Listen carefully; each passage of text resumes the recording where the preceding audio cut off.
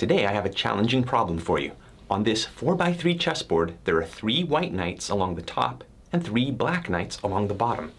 Using only legal chess moves, so alternating turns, we need to swap the locations of the black and white knights. But at no point in time can a white knight threaten a black knight or a black knight threaten a white knight. So for example, both black and white control this square, so it's off limits. You can't move there. Pause the video and give it a try. You can use the link in the description to actually try it out. It didn't take me long to realize it was a tricky problem. Even from the start, there aren't many places you can move the knights because the board is so narrow and you aren't allowed to have knights of opposite color threaten each other. I kept running into dead ends or making mistakes and starting over. After about 10 minutes, I still hadn't solved it, and even if I had stumbled across the solution, I doubted I would ever be able to duplicate it. Was it even possible to swap the knights? I should note that I know it is possible if we relax some requirements and allow knights of opposite color to attack each other, or if we don't force the colors to alternate turns. This is known as the six-knight Guarini problem, named after the 16th century mathematician Paolo Guarini di Forli, and it can be done in 16 moves. But is this challenge possible? You should definitely pause and try it out. This reminds me of a problem I encountered back in high school at a state math competition. In that problem, we were given a 3 by 3 chessboard with white knights at opposite corners and black knights at opposite corners. The task was to move the knights so that the top two corners had white knights and the bottom two corners had black knights. And in this problem, it was okay for knights of the same color to move twice in a row. And it was also okay for the knights to threaten each other. It sounds easy enough, right?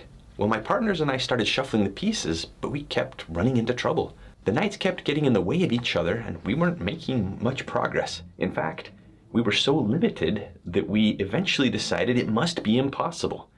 But at a math competition, you have to prove your answer. You can't just say, I tried a bunch of stuff and none of it worked. Therefore, it's impossible. You have to come up with a logical argument.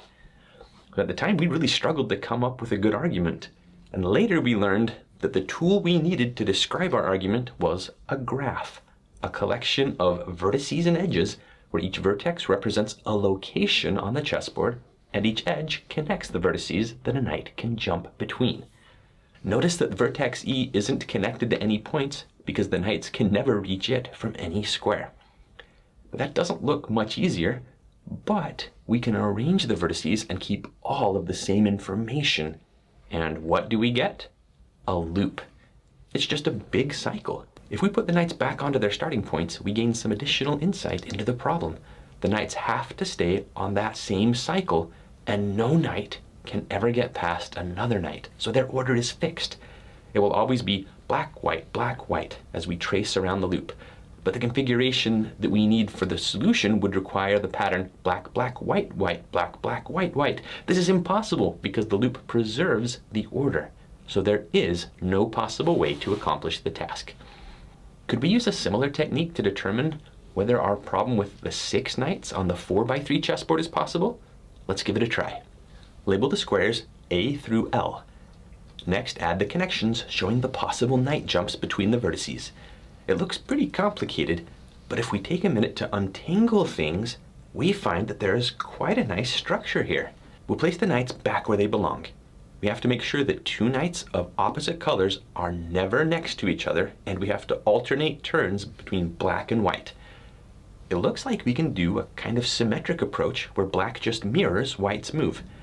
There's just enough room for some movement. We're moving the black knights along the top path and the white knights along the bottom path. In the end, the black knights end up on A, B, and C, while the white knights end up on J, K, and L. We did it. Now we have to translate that solution back to the 4x3 grid. Watch closely to make sure that opposite colored knights don't attack each other.